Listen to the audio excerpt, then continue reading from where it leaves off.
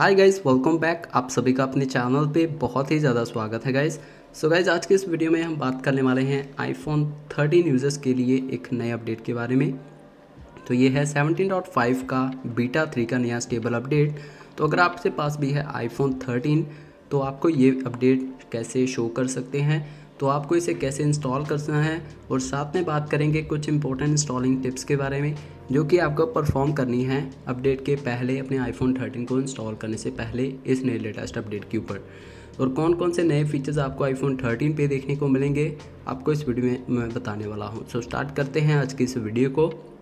सबसे पहले तो आप इस अपडेट का साइज़ चेक कर सकते हो। इस अपडेट का जो साइज़ है, वो छः जी आपको देखने को मिलने वाला है। और साथ में यहाँ पर आपके आईफोन की जो स्टोरेज है, वो तकरीबन 25 से लेकर 30 जीबी तक फ्री होनी चाहिए, ताकि आपके डिवाइस जो है वो बिल्कुल एक्यूरेटली काम करता रहे, कोई भी उसमें आपको बग्स देखने को ना मिल सके स्लो स्पीड आपको देखने को ना मिल सके। इसीलिए अपनी आईफोन की स्टोरेज को थोड़ी सी फ्री अप कर लें, अगर आपको इस अपडेट को इंस्टॉल करना है। उसके बाद आपको यूज़ करना है वाईफाई को, क्योंकि आप इस अपडेट को अपने अपने मोबाइल डेटा पे अपडेट नहीं कर सकते। अगर आपके पास वाईफाई 5G का है तो 5G वाईफाई आप यूज़ करके काफ़ी स्पीड से आप इस अपडेट को इंस्टॉल कर पाओगे। अब बात करते हैं इंस्टॉलिंग टिप्स के बारे में, कैसे आपको इसे इंस्टॉल करना है 17.5 के बीटा 3 के अपडेट को आईफोन 13 के ऊपर। उसके लिए आपको सबसे पहले जाना है अपनी सफारी ब्राउज़र में और यहाँ से आपको टाइप करना है एप्पल बीटा सॉफ्टवेयर प्रोग्राम तो ये है एप्पल की ऑफिशियल वेबसाइट तो यहाँ से आपको सिंगल टैप करना है। जैसे ही टैप करोगे, आपके सामने ये पेज ओपन हो जाएगा। तो यहाँ से आपको ऑलरेडी मेंबर के ऊपर टैप करना है साइन इन के बटन पे।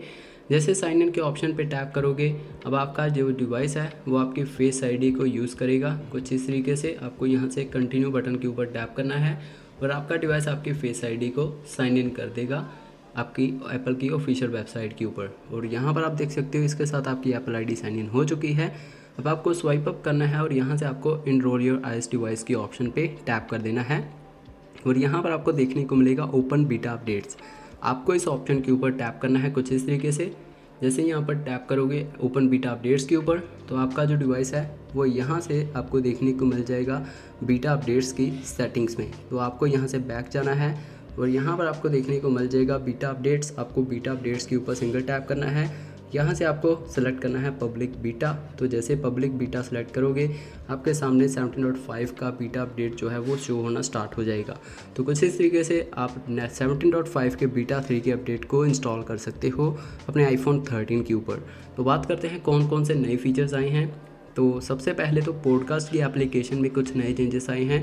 जैसे कि अगर मैं इस पॉडकास्ट को एज ए विज़िट यूज़ करता हूँ अपनी होम स्क्रीन के ऊपर तो ये जो पॉडकास्ट है, अपने कलर्स को चेंज करेगा। जैसे आप अलग अलग पॉडकास्ट को प्ले करते रहोगे अपने होम स्क्रीन में, अपने विजिट्स के ऊपर।